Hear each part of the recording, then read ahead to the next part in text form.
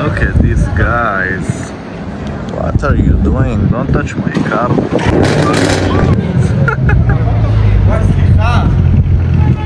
what are you doing, man? I'm sorry, bro. I'm sorry. But why are you leaning on my car? This is a crazy car, bro.